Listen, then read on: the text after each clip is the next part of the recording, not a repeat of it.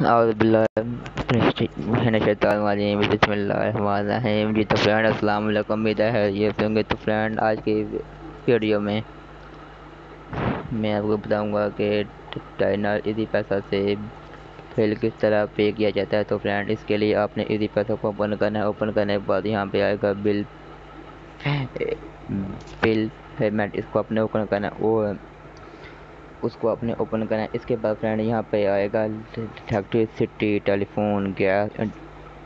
Internet आपका जो भी बिल होगा आपने उस पर क्लिक करना है। तो फ्रेंड इसके बाद एस एन जी पी अपने करना क्लिक। इसके बाद यहाँ पे अपने अपने बिल का नंबर लिखना है तो